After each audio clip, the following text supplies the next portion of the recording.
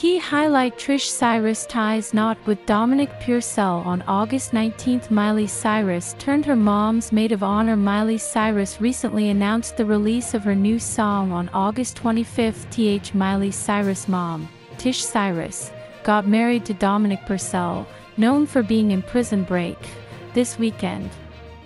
They got engaged just four months ago and had a small wedding in Malibu, California.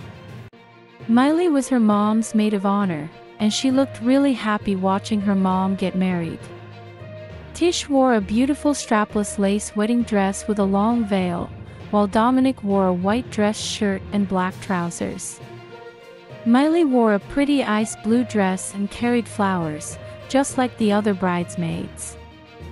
Miley's younger siblings, Trace and Brandi, were also part of the wedding.